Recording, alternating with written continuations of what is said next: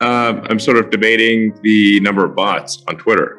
Currently, I'd like the, what what what I'm being told is that the uh, there's just no way to know the number of bots. It's like as unknowable as the human soul. Uh, obviously, you can have an account that looks exactly like a human account, or is being operated where one person is operating a thousand accounts or something. Said another way, the number of real unique humans uh, that you see making comments on a daily basis on Twitter um, is above 95%. That is what they're claiming. Does anyone have that experience? And if it's not 5%, what, what is it? Um, I think it's some number that is probably at least uh, four or five times that number. The, the lowest estimate would be probably 20%. And, uh, and, and, this, and this is a, a bunch of uh, quite smart outside firms have done analysis of Twitter and uh, looked at the, the, the sort of daily daily users, and their conclusion is also about is about 20%. But that's a lower bound. It's not an upper bound.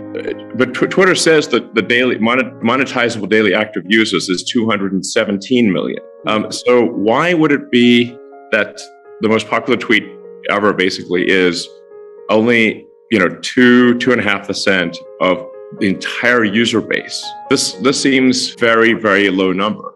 Um, how is this possible? Um, surely there's something that maybe, you know, 10% of people would like, not merely 2%. There's something doesn't add up here. And, and my concern is, is, not, is not that, is it like, you know, is it five or, or seven or 8%, but is it potentially 80% or 90% bots? Is it an order of magnitude?